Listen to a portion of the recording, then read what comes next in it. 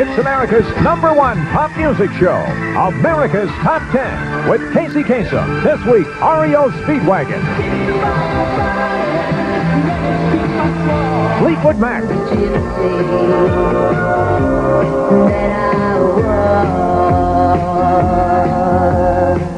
Earl Thomas Conley.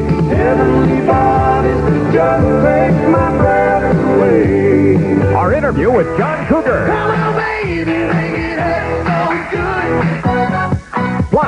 Exclusive reviews of the top 10 on Billboard's pop, soul, country, and album charts for the week ending August 29, 1982.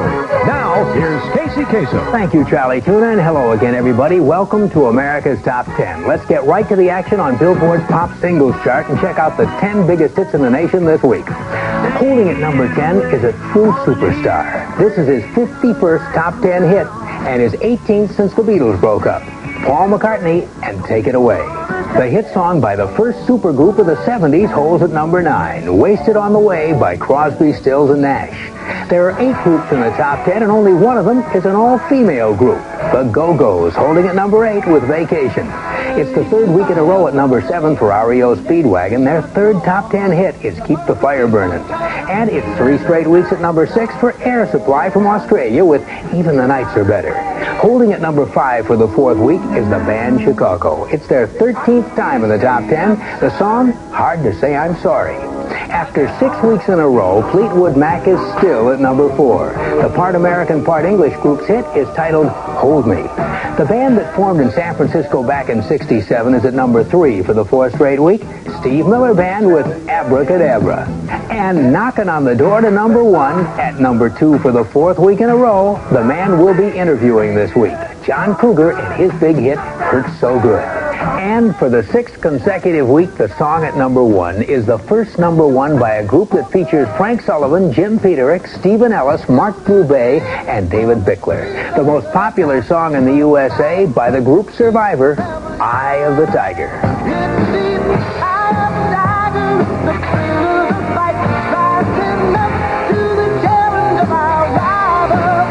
Now our Pop Spotlight Song of the Week. It's by a five-man group who began playing rock and roll way back in 1970 in Champaign, Illinois. And it was a long uphill battle to hit the charts.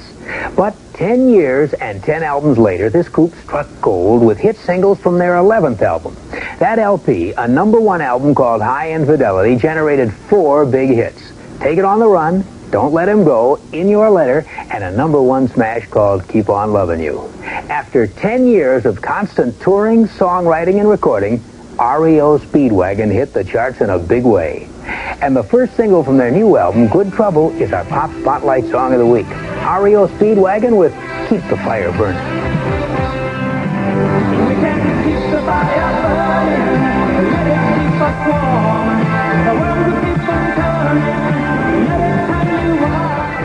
our Pop Spotlight. That's REO Speedwagon and their latest hit, Keep the Fire Burning. Right now, let's take a look at Billboard's album chart and find out which LPs are leading in sales this week.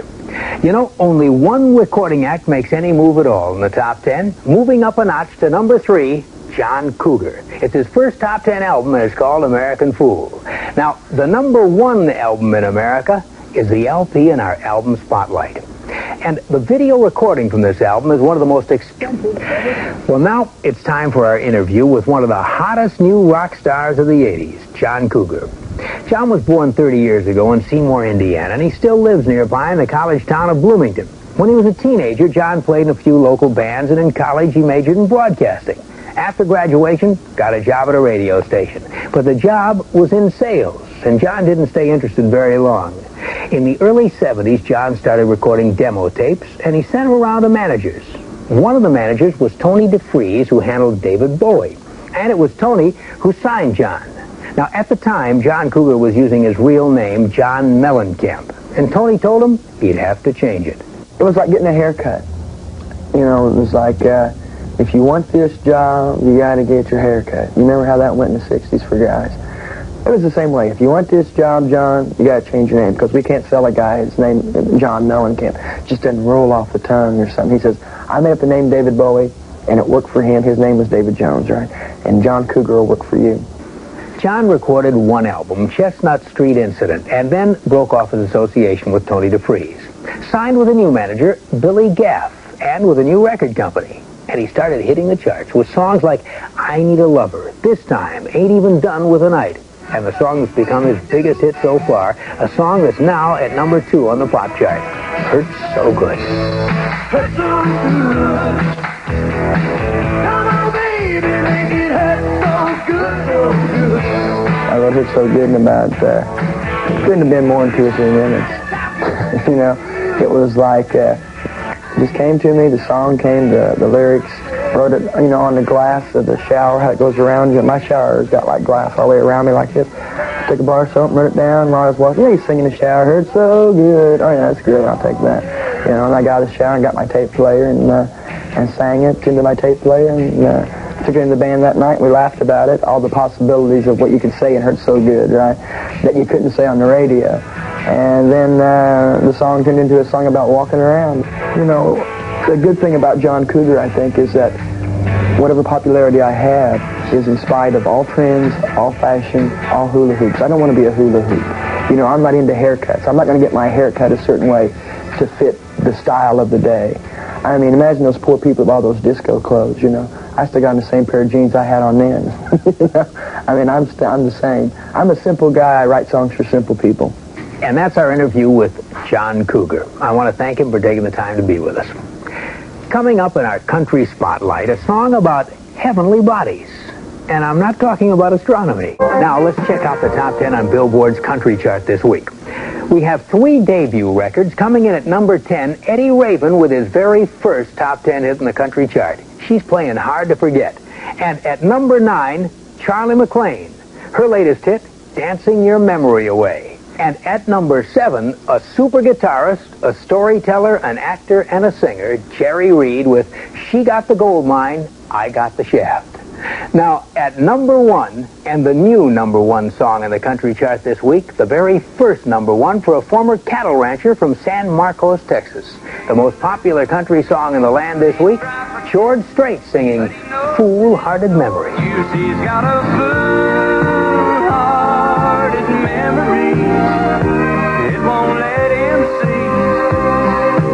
George's was My Sweet Lord, and Ringo's was Photograph. Which of those four was the biggest? Got the answer and details coming up. Now, let's answer our trivia question. Comes to us from Norman Kreider of Houston, Texas, who watches the show on Channel 39. Norman wants to know which Beatle had the biggest hit after they broke up. Well, Norman, all four of the Beatles went on to have successful solo careers after 1970, and the biggest solo hit that each had looks like this. They were all number ones. John had Starting Over, Paul, Silly Love Songs, George, his biggest, My Sweet Lord, and for Ringo, his biggest was Photograph. The biggest of those four hits came in 1980 and ran into 1981, spending 14 weeks in the top 10 with five of those weeks at the top spot. It was the song by John Lennon, released just before he died in December 1980. Starting Over. The biggest hit any of the solo Beatles have ever had. And there's your answer, Norman. Thank you for writing in. And because America's Top 10 used Norman's question, he'll receive the Hamilton Beach Pop Air 2. Pots with hot air, not hot oil. Pop air and butter up popper from Hamilton Beach Scovill with 70 years of quality. And TDK audio cassettes for rich, clean sound. TDK video cassettes for bright colors and sharp images. TDK leads the way in home recording tape. And from Akai, known the world over for great sound, beautifully styled match components including AM-FM stereo receiver, a set of match speakers, and a stereo cassette deck. Remember Akai, you never heard it so good. Well, that wraps up our show for this week. Now, next week you'll see performances by the great Paul McCartney, Genesis, an interview with Ted Nugent, and more. Till then, keep your feet in the ground and keep reaching for the stars.